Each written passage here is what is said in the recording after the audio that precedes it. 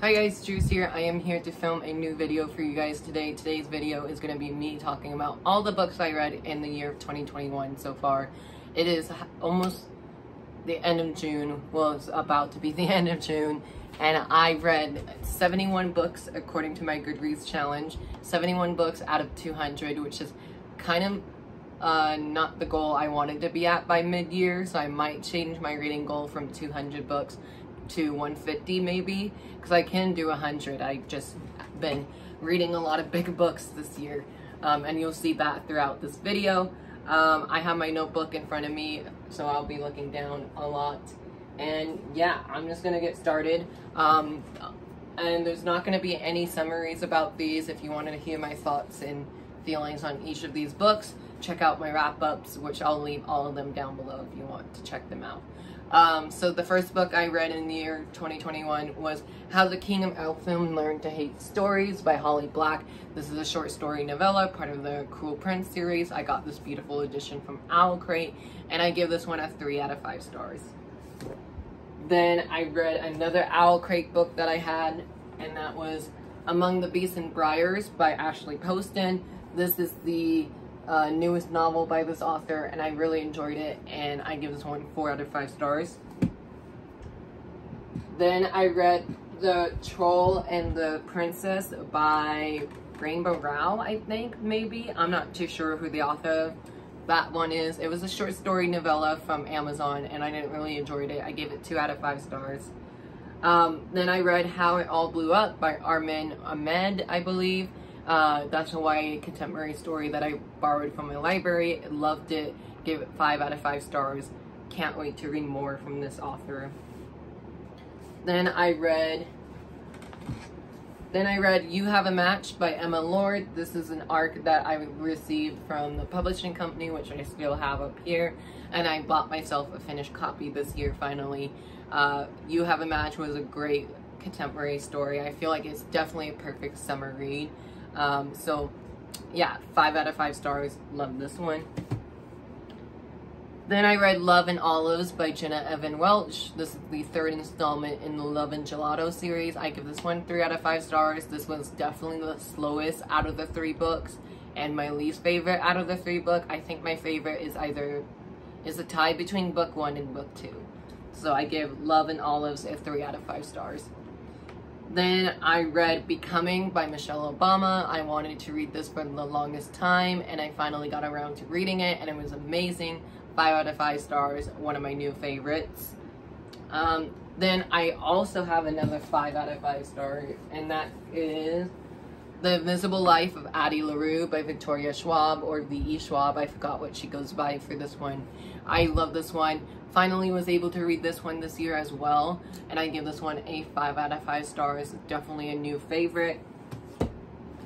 Um, next book I read was, I actually have this one, was da -da -da Ghost of the Shadow Market by Cassandra Clare and Maureen Johnson, Sarah Rees Brennan, Kelly Link, and Robin Wasserman.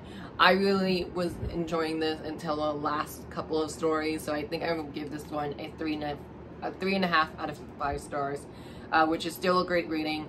And I love Cassie Clare, so I have a couple other of her books on this video today, or in this video today, I should say. Um, and then the last book for January that I read was Raybearer by Jordan E. Funko, I believe. And I give this one 4.5 out of 5 stars. It was a really great debut novel that I really enjoyed.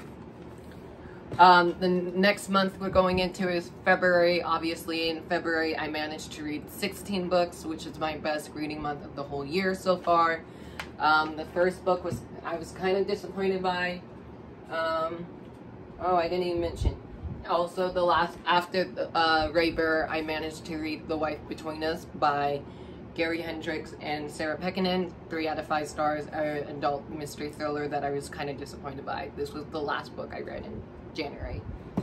Now going on to February. Um, February, I read 16 books. So the first book I read was These Violent Delights by Chloe Gong. I was sadly disappointed by this. Like, I enjoyed it, but like, pacing was slow and it didn't really pick up until like halfway through. So I give this one three out of, three out of five stars. Um, I'm definitely looking forward to the sequel because I want to see how the series will wrap up. Um, then I have I reread one of my favorite books of the year because I felt super slumpy after that. So I reread The Hate You Give by Angie Thomas. Gave this five out of five stars. It will forever be a five out of five stars, I think.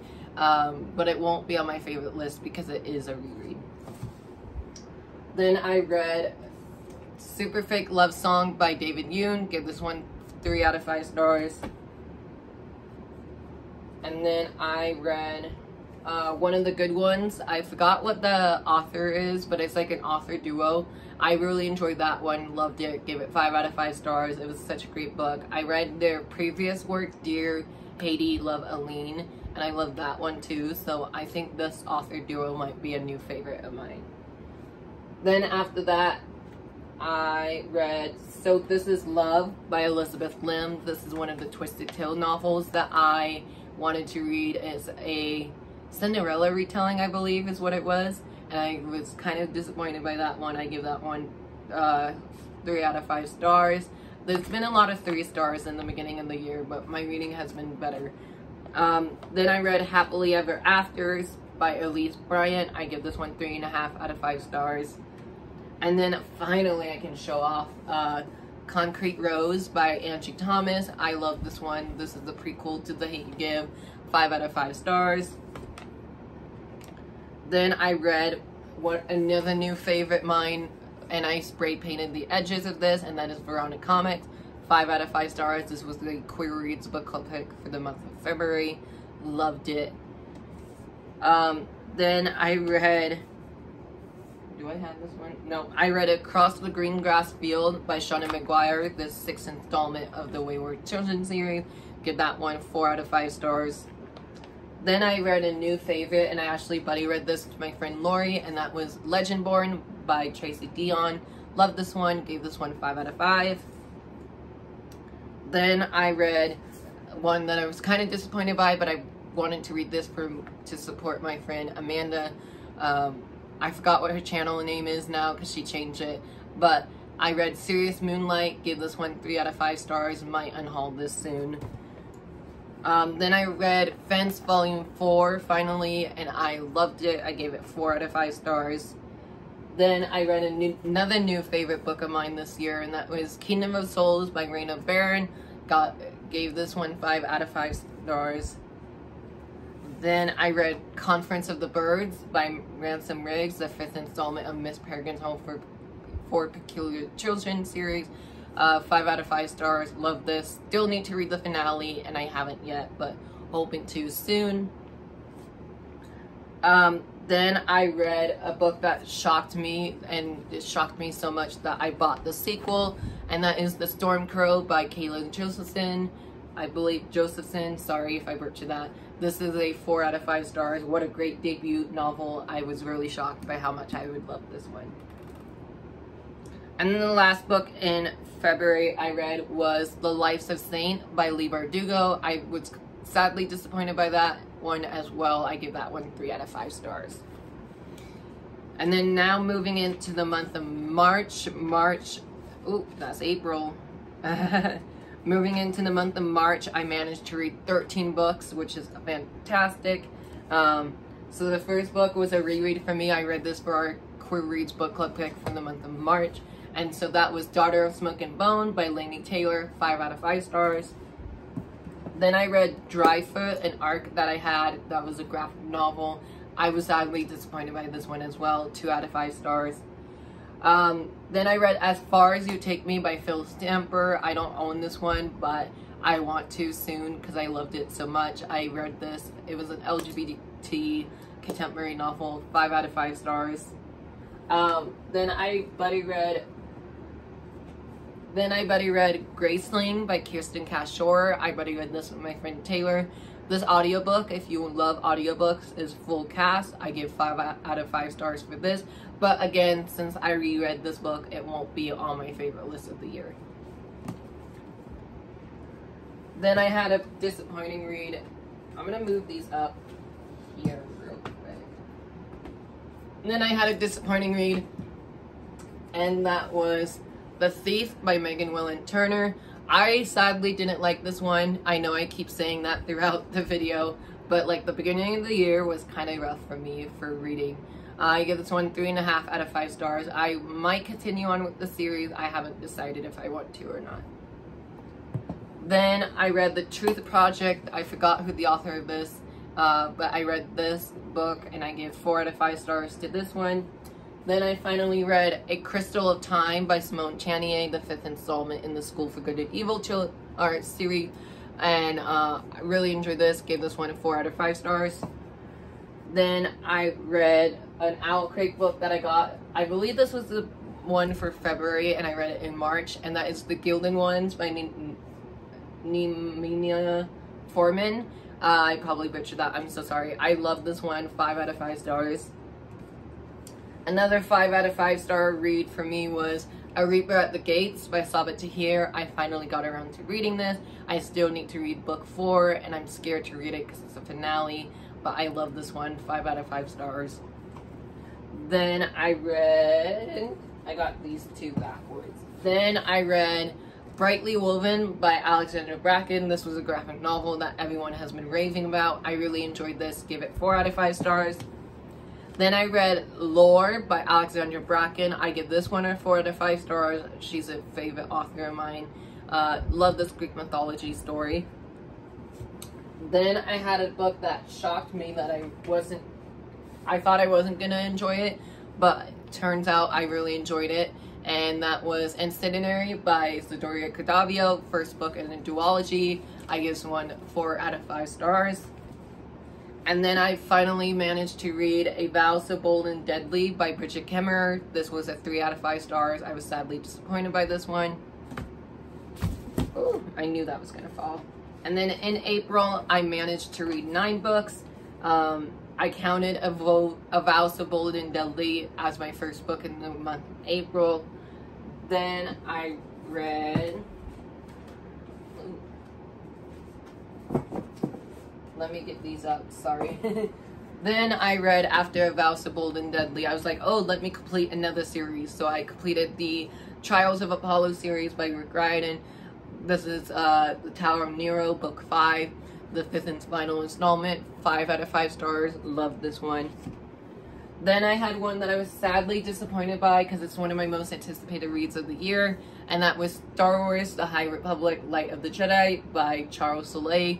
Give this one three out of five stars. And then I read one that is another Owl Crate book that shocked me, and that was Spin the Dawn by Elizabeth Lim. I give this one four out of five stars. Then I read Hollowpox by Jessica Townsend. This is the third installment of the uh, Nevermoor series. I almost forgot what this first book was called. I gave this one three out of five stars. I was disappointed by this one. And then I read one that I really enjoyed, and that was Lost in the Neverwoods by Aiden Thomas. I love this one. I can't wait to read Cemetery Boys this month. Five out of five stars for this one. And then I wanted to reread the Runaways graphic novel series by Rainbow Rowell. So I reread volume one, I loved it as much as I loved it the first time, so I gave it four out of five stars. And then the last book in the month of April that I managed to read was Go the Distance by Jen Catalian. Uh, I give this one four out of five stars, and I can't wait to read more of the Twisted Tales series. And then in April, or in May, I managed to read 12 books in the month of May. Let me get these up so it's easier for me. Please hold.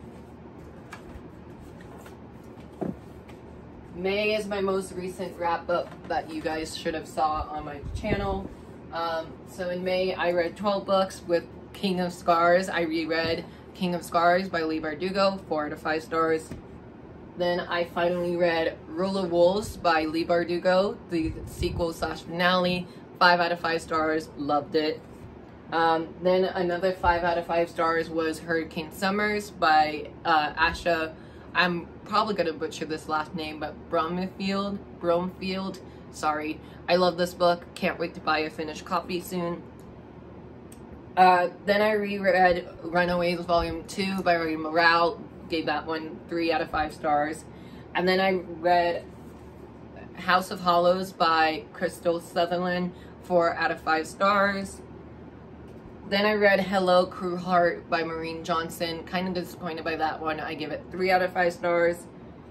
And then I read That Way Madness Lies by edited by Dahlia Adler. This is a Shakespeare reimagining of 15 short stories. I gave this one four out of five stars. It wasn't quite a five stars because again with every short stories it won't always be a five out of five stars. So that was the reason for this. Um, then I reread Runaway Volume 3, and I love this one more than the sequel, so I give this one 4 out of 5 stars. And then I read Illusionary by Zadora Cadavio, the sequel slash finale to the Incendiary, to the Hollow Crown duology. First book was Incendiary, and I love this one even more, and I give this one 5 out of 5 stars. Fall. Yep, I knew it. Um, and then I finally managed to read Chain of Gold and I gave Chain of Gold 5 out of 5 stars. And then I read um, People We Meet on Vacation by Emily Henry. I give this one 4 out of 5 stars. And then I read Aru Shah and the City of Gold by Roshani Chokshi. Gave this one 4 out of 5 stars. Cannot wait for the finale. And then in June, I managed to read 8 books so far. Um, June, I read Reaper of Souls by Rena Barron, the sequel to Kingdom of Souls. Love that one as well. Gave it 5 out of 5 stars.